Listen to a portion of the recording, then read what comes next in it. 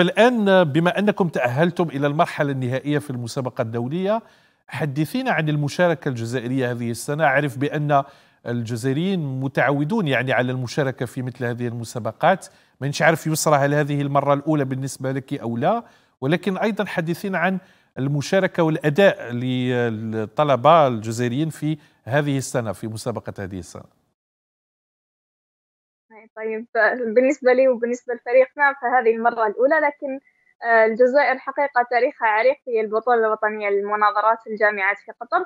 فشاركت في طبعة 2019 يعني شاركت جامعتين في هذيك جامعة الجلفة وجامعة مارسيجي في الأقواط وتحصل يعني آه، تحصلت جامعة الأغواط على المرتبة الثالثة في البطولة الدولية في سنة 2019 في سنة 2021 كذلك سنة شارك فريق باتنا وفريق من الجلفة.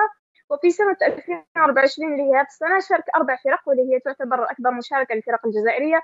فريق من جامعتنا جامعة فتحة عباس فريق من جامعة الحاج الأخضر باتنا وفريق من جامعة من كلية الطب مصطفى بن بولعيد باتنا ثاني.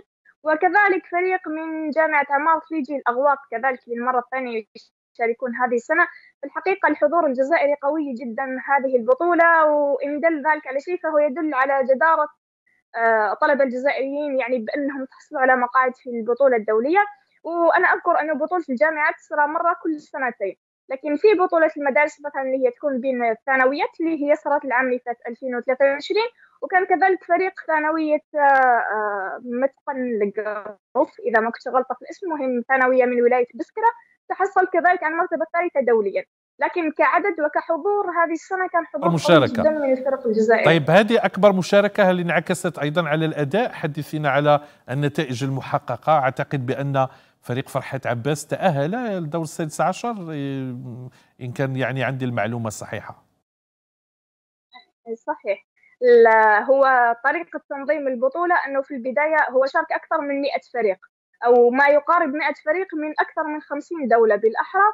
ففي البداية تم تقسيم المجموعات أو كان عبارة عن دوري مجموعات كما في كرة القدم تقريبا يعني ويتأهل من دوري المجموعات 16 فريق. فالفرق الجزائرية كان صراحة كانت منافسة شرسة ومحتدمة وتقريبا كنا كنا رابحين نفس العدد من المناظرات لكن كان الفارق في النقاط هو اللي خلى الفريق جامعة فرحات عباس تتأهل لدوري 16 فالحمد لله يعني كلاسينا المرتبة الثالثة عشر من 100 فريق فهذا إنجاز للجامعة يعني للأسف آه، ما وصلتم على المرتبة 13 آه، على المرتبة 13 من 100 فريق.